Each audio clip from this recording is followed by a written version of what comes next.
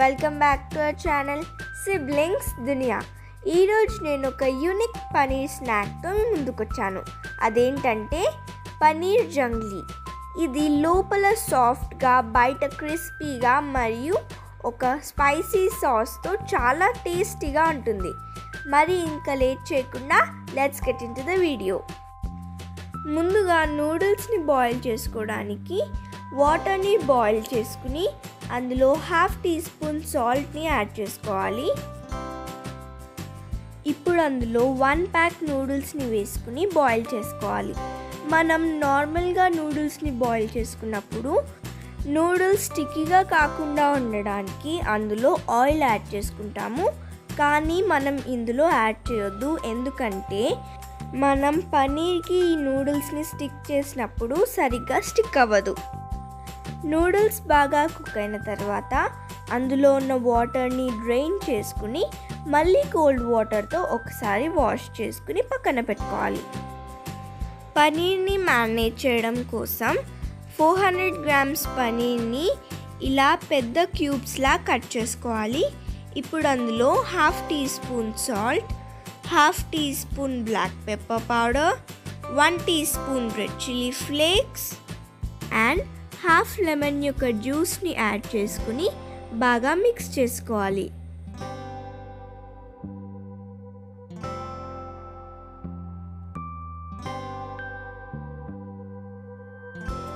పనీర్ పీసెస్కి నూడిల్స్ బాగా స్టిక్ అవ్వడం కోసం ఒక బౌల్లో టూ టీ స్పూన్స్ కార్న్ఫ్లోర్ పావు టీ స్పూన్ ఉప్పు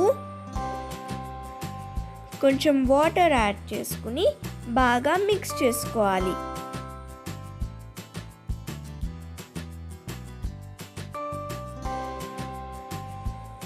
ఇప్పుడు ఇందులో half teaspoon pepper powder add చేసుకుని బాగా మిక్స్ చేసుకోవాలి.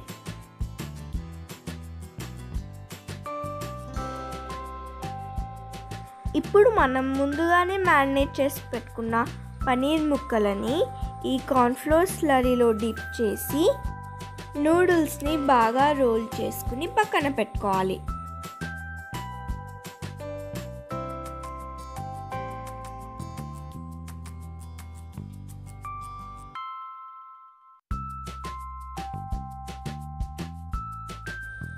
ఇలా అన్నింటినీ తయారు చేసుకుని పెట్టుకున్న తర్వాత ఒక కడాయిలో డీప్ ఫ్రైకి సరిపడా ఆయిల్ని బాగా హీట్ చేసుకుని వీటిని ఒక్కొక్కటిగా డీప్ ఫ్రై చేసుకోవాలి.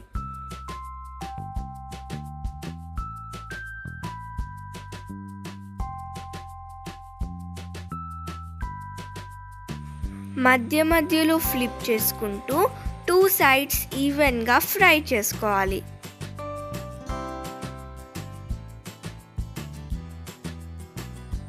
ఇలా బాగా ఫ్రై అయిన తర్వాత ఒక టిష్యూ ఉన్న పేపర్లో తీసుకుని పక్కన పెట్టుకోవాలి.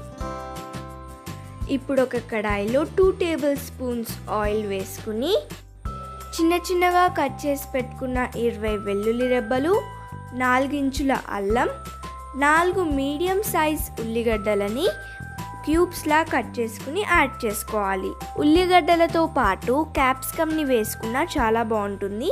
మా దగ్గర అవైలబుల్గా లేదని మేము స్కిప్ చేసాం ఇప్పుడు ఇందులో సన్నగా పొడుగ్గా కట్ చేసి పెట్టుకున్న మూడు పచ్చిమిర్చిని యాడ్ చేసుకుని బాగా వేగిన తర్వాత four teaspoons chilli sauce two teaspoons soya sauce four teaspoons tomato సాస్ని add చేసుకుని బాగా ఫ్రై చేసుకోవాలి.